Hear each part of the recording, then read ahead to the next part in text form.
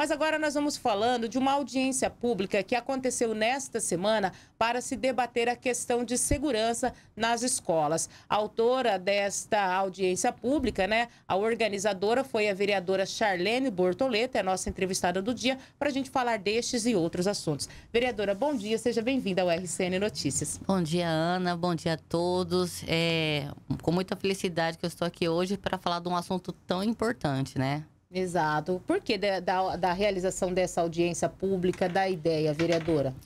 Com tudo o que aconteceu, né? Com o pânico, o medo que se instalou na, no Brasil, né?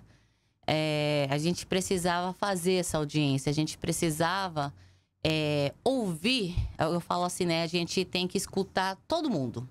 Então, o que aconteceu lá em Blumenau, a gente via isso aí muito longe, via essas coisas acontecendo nos Estados Unidos, era uma coisa muito distante, que chegou até nós, e chegou perto, né? Então, quando aconteceu aqui no Brasil, a gente se chocou, todo mundo ficou em pânico. Eu, como mãe, fiquei em pânico, né? De levar os filhos para a escola. Eu tive muitas mães mandando mensagem: Charlene, não quero levar meu filho. Todo mundo com medo. E aí começou aquela correria: o que fazer, né? É, quer, todo mundo quer segurança, quer segurança, mas e aí? Colocar um policial na porta das escolas vai resolver? Então, essa audiência pública foi para saber que não é só isso, né? Que o buraco está muito mais embaixo. E são coisas simples, Ana. São coisas simples. Lá foi maravilhoso. Os palestrantes, chamei palestrantes só daqui da cidade. Eles arrasaram lá. É, a Sônia, diretora da escola, foi. A Cíntia foi. Foi o Olavo. Foi o, o Giovanni, que é o professor, falou do, da inteligência emocional. A, o Sidney, o psicólogo. É, os adolescentes foram. A, eu tenho que agradecer muito a Beth Zanoni, que levou os alunos da FUNLEC. Então, essa audiência era, né, é também para os adolescentes, para os pais, para todos nós. Era muito importante falar. Segurança nas escolas na era digital. Por que, que está acontecendo tudo que a gente está vendo? Então lá foi falado e a gente escutou muita coisa que se perdeu. Antigamente, nós, né, na, na minha época não tinha celular, então a gente sentava muito ali com os pais, os avós, tomava café junto, almoçava junto, jantava, assistia televisão, todo mundo na sala. Então tinha aquelas rodas de conversa, todo mundo ficava perto, escutando alguém fa é, falando as histórias e tudo isso se perdeu. Hoje em casa, um come no quarto, um come na sala, é, pai fala com o filho pelo celular. Então essa convivência se perdeu.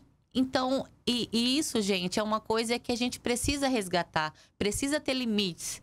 A gente não sabe o que acontece porque a internet, não é, se ela fosse um ambiente saudável, tudo bem, mas ela não é um ambiente saudável. O que, que eles estão aprendendo ali? Então, hoje está se formando muito grupos né, de WhatsApp, que pai e mãe. É, eu falo, vocês precisam ter acesso ao celular dos, dos filhos de vocês. Vocês precisam ver o que está acontecendo por causa do bullying. Isso acontece muito. A mãe deu um depoimento lá, quase chorando. Falou que tiraram uma foto da filha dela e colocaram, fizeram um Twitter. E a, as palavras, o xingamento ali pra filha dela. O que, que é isso, gente? O que, que a gente tá vivendo? Então, é, é isso que a gente precisa discutir. A gente precisa conversar com os nossos filhos. Senta com eles, vê também, prestar atenção. Se ele tá quieto, o que, que tá acontecendo com esse adolescente, com essa criança? Porque criança hoje já nasce com o celular na mão. Então, a gente precisa ver o, qual é o conteúdo que eles estão vendo. Porque não adianta nada, Ana, eu chegar na minha casa e eu ensinar para o meu filho tudo que é bom e a internet está mostrando tudo que é ruim. Os amigos também tiram muito sarro, porque tem um aplicativo que o pai e a mãe pode colocar ali no celular para estar tá vigiando o que, que o filho está fazendo. Mas chega na escola, os coleguinhas tiram sarro. Ai, você não tem. É, sua mãe fica te vigiando, você não tem controle da sua vida. Eles sofrem bullying até por isso. Então, e a gente está vendo aí, esses grupos, eles estão crescendo, esses grupos neonazistas, é, sobre o racismo, sobre o LGBT. A gente está vendo muitos ataques que antes a gente não via dessa maneira, nessa proporção, dessa crueldade que está acontecendo hoje. Então, a audiência pública foi para a gente conversar, é, ali para os adolescentes escutarem tudo aquilo, que precisa ter limite, que precisa ter cuidado, que não é fácil depois que foi para a rede, ali você não tem mais controle, tem ameaça, tem pedofilia, tem muito. O, o que, que o, o, o ministro do, do Direitos Humanos falou? Precisamos quebrar os tabu, precisamos conversar. Antigamente, não existia abuso sexual? Existia, existe até hoje. Mas a gente não conversava isso também com nossos filhos. Então, hoje, a gente precisa quebrar os tabus e a gente precisa conversar, prestar mais atenção nessa pessoinha que a gente está criando, que está ali dentro de casa. Se a gente não prestar atenção nos nossos filhos, quem está dando atenção para ele é a internet. Hoje, tem os vídeos porque hoje tudo é like, tudo é curtida. Eles querem colocar alguma coisa para que os amiguinhos tudo vai lá e curtam as publicações deles. E acontece o quê? O que, que a gente está vendo? Hoje tem. Eles estão ensinando as crianças a. a é, fazem um grupo, um desafio. Ana, olha só o que acontece. Eles lançam um desafio para você estar no grupo, você tem que fazer algo. O que, que é isso? Eles querem que você se mutile. Eles querem que você tire uma foto que não seja legal, né? Eles querem que você pegue um animal e que faça crueldade com esse animal. Ou que bata num, num aluno, num amigo ali, né? Que faça alguma coisa para você é, estar no grupo. Então, são os desafios que eles lançam. Tudo isso na internet. Então, a gente precisa monitorar. Porque eu falo, gente, eu sou de uma época que não existia isso. Hoje, o meu filho, de 13 anos, ele sabe mexer muito mais que eu. Então, essa garotada, eles são muito espertos. Até criancinha sabe mexer no celular hum, é melhor que nós, pais. A gente precisa até aprender, porque eles criam uns aplicativos que esconde e a gente não sabe disso. Então, a gente tem que fazer até um curso para poder saber o que, que eles estão olhando na internet, o que, que eles estão aprendendo. Ou seja, vereador, a senhora entende que essa questão dos problemas que vem ocorrendo nas escolas não é só é, responsabilidade da escola, questão de segurança. Vai além disso e os pais precisam estar atentos à educação, ao comportamento dos seus filhos. Isso que eu falo, o buraco é muito mais embaixo. A escola tem que ensinar. Quem educa são os pais. Ninguém se fala de professor também. E olha só o que está acontecendo com os professores. Quando se coloca ali a proteção para os alunos, é, se esquece que professor, que o aluno, quando eles tem que olhar as mochilas também. Ah, hoje é, o professor foi lá e deu uma nota que o aluno não gostou. Ele se acha no direito de tirar a vida de um professor? Cadê a segurança dos professores também, dos diretores, dos funcionários da escola? Então, tudo isso tem que se falar, tem que tem que chegar até a, a raiz do problema. Não é só colocar ali um, um, policial, um segurança ali. Não, porque hoje você não pode nem tocar no aluno. O ensino mudou tanto, porque antigamente eu lembro que a gente respeitava um professor como a gente respeitava um pai e mãe, né? É, Deus me livre de responder um professor que se chegasse em casa, minha mãe ficava doida comigo. Hoje não. Hoje os pais, se o professor fala um A para um aluno, o pai vai lá e xinga a professora. Não tem respeito com os profissionais. Se inverteu tudo. Tudo que a gente aprendeu, tudo que, que era, se perdeu nisso. Então tem que tomar muito cuidado. Se um aluno faz alguma coisa e o professor vai separar, ele é punido. O professor hoje não sabe nem como trabalhar com isso. Ele não tem autoridade mais.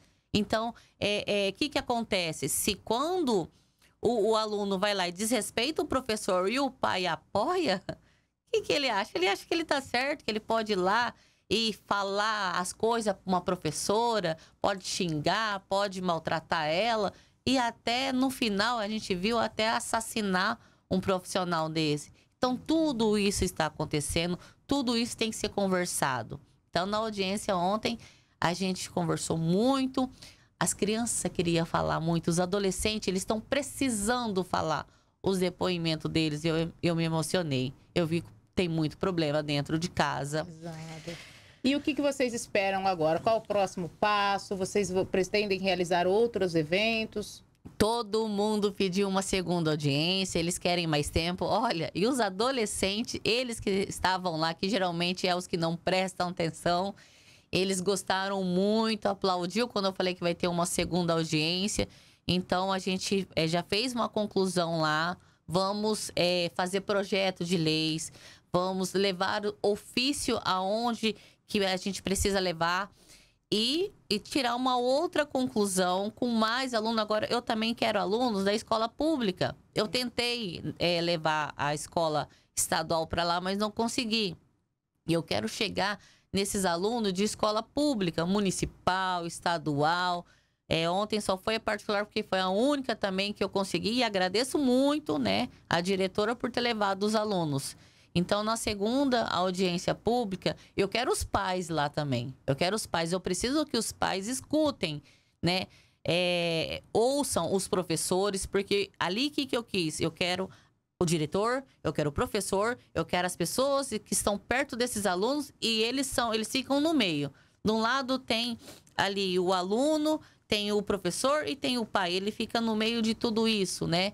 Então ele é a ponta, é ele que olha para o aluno e vê ele não está bem. É ele que está no dia a dia que passa mais tempo com os nossos filhos, são os professores. Então a gente também tem que escutar ali professor, aluno, pais, mães, diretores, psicólogos, todo mundo e vamos fazer uma segunda audiência assim, porque foi um sucesso, foi muito bom é, escutar cada pessoa que está no dia a dia com esses alunos. Pois é, é um assunto importante que realmente né, as autoridades precisam se atentar para isso, para a gente evitar mais tragédias, como a gente já viu nas escolas. São 7h41, vereadora, só vou fazer um intervalo. Na sequência, eu vou aproveitar que a senhora está aqui, porque a senhora é defensora da causa animal. A gente vai falar um pouquinho mais sobre os animais aqui de Três Lagoas. Intervalinho é rápido, a gente já volta. E a vereadora Charlene Bortoleto é uma das defensoras da causa animal em Três Lagoas. Vereadora, como que a senhora analisa toda essa situação, os animais abandonados aqui em Três Lagoas? Primeiramente, né, é, fiquei muito feliz ali com a iniciativa da OFMS, porque eles estão fazendo tudo certinho, né? Eles não estão só alimentando, eles estão castrando, eles estão vendo a saúde do animal. E enfatizar, gente, ali não é depósito de bicho, eles já estão com os animais ali. E esses animais foram para lá como? Por causa de abandono de pessoas irresponsáveis. A culpa sempre é da pessoa que pega e abandona. Vocês colocam isso na cabeça de vocês. Pegou animal, tem que ter condições Vamos cobrar do poder público? Vamos cobrar, mas primeiramente a gente vai cobrar das pessoas que abandonam esses animais. Tem muitos animais nas ruas aqui de Três Lagoas por causa de abandono, porque pega o bicho, acha que é fácil cuidar. Vocês viram ali, eles gastam em média dois mil reais. Não é barato. Então pensa muito bem antes de pegar um animal. A gente precisa fazer as políticas públicas, tem que fazer. Estou conversando com a Elaine que o castramóvel, ele está na cidade, todo, todo o bairro que o Astramóvel vai lota. Só que é o seguinte, a gente precisa fazer uma filtragem. É, o castramóvel, ele castra animais de todo mundo. E isso não é certo. Não adianta colocar o castramóvel no bairro X e abrir para todo mundo. Por quê? A pessoa que tem condições vai roubar a vaga de quem não tem condições. A dona Maria, que tem seus animais tudo na casa dela lá, que não tem condições, que está dividindo o salário mínimo dela para alimentar esses animais, ela não tem condições de levar numa clínica. E uma pessoa que tem condições está roubando a vaga da dona Maria. É isso que eu estou falando. Vamos ter essa reunião. A gente precisa fazer o serviço público para quem realmente necessita e não abrir para todo mundo. Então, o que ela falou tá certo. Ali eles não são um depósito. É, é muito difícil eles fazerem esse trabalho. Assim, eu achei brilhante que eles conseguiram, de alguma forma, receber um dinheiro, porque você sabe, né, como eu te falei, como é difícil o nosso trabalho com dinheiro tudo do bolso. Então, as pessoas precisam se conscientizar. E é crime abandonar. É crime. Então pense duas vezes antes de pegar um animal, porque não é só colocar na tua casa para cuidar do seu quintal. Ele tem que ter vacinação, tem que ter castração, microchipagem. Eu quero colocar um projeto de lei que seja obrigatório microchipar todos esses animais, porque se a gente microchipar, eu vou saber quem abandonou. Precisa microchipar esses animais, nem que vá de casa em casa e coloca o microchip ali, a pessoa vai pensar duas vezes em abandonar um animal. Agora, vereador, esses animais que ficam nas ruas, as pessoas cobram a castração para evitar né, que eles aumentem ainda mais. Como que a senhora analisa isso? Os que ficam na rua, né? Quem faz esse serviço de pegar bicho na rua somos nós protetoras. Então é outro problema que a gente tem. A gente precisa de vaga. A gente precisa de vaga no castramóvel para poder, porque assim, para pegar um bicho na rua, às, vezes a gente fica o dia inteiro para pegar o animal. Imagina um gato. A gente tem uma armadilha, coloca a armadilha e fica ali o dia inteiro esperando o animal entrar. Quando o animal entrou, que é da rua, que é um trabalho muito complicado, gente, as protetoras, todos nós trabalhamos, né? Então, assim, tem que prestar atenção que a gente não. O, nosso, o trabalho de proteção animal não é. não recebe um salário. Então, é, essas protetoras que você está trabalhando o dia inteiro, elas vão ter tempo de fazer isso aí à noite. Então, quando elas conseguem fazer, a gente precisa do espaço, uma prioridade que é uma lei já, é, para poder castrar. Por quê? É gasolina do bolso, é o nosso tempo, a gente não recebe para isso. Então a gente precisa também é, encaixar isso. É outra demanda, é outra e, dificuldade. Em gastos, a senhora, inclusive, está fazendo uma rifa para pagar despesas com a alimentação desses animais abandonados. Na verdade, eu fiz a rifa já, né? E não, não foi para alimentação. Dessa vez, porque eu fiz no final do ano, eu fiz aquele. É, quando o, a Secretaria de Assistência Social levou a cesta básica, eu peguei e levantei, né? E fiz uma. Consegui mais de meia tonelada e doei junto com a cesta básica a ração. Dessa vez é para pagar clínica veterinária. Por quê? A gente não tem nenhum atendimento gratuito na cidade. Não existe isso. Todos os animais que a gente pega, a gente tem que pagar. Semana passada, eu peguei um cachorrinho lá no Novo Oeste. Esse cachorrinho me custou mil reais e ela faleceu. Então, olha só, é, é caro. Se eu for resgatar um amanhã, olha o, o valor. Então, assim, é muito dinheiro. Consegui fazer uma rifa, ela deu em torno de seis mil reais. Era cinco reais cada talãozinho, né, da rifa. Então, um montante de R$ 6.025. Quando eu fui para as clínicas e pedi as contas das protetoras independentes, olha só, não foi para pagar conta de ONG. Isso está tirei fora. As ONGs, né? E, e os meus, isso eu tirei fora. Só protetoras independentes. Deu um valor de quase 40 mil reais. É o que elas gastam mensalmente salvando animais na nossa cidade. Então, 6 mil reais não vai fazer muita coisa, né? Mas elas estão felizes porque quem é que ajuda? Quem é que ajuda? Então, fiz um mapeamento, comecei a pagar ontem. Tô indo em cada veterinário dar um pouquinho para cada. Tá certo, vereadora. A gente quer agradecer pela tua presença. Bom trabalho para a senhora no Legislativo, viu? Muito obrigada. Obrigada a todos e um bom dia.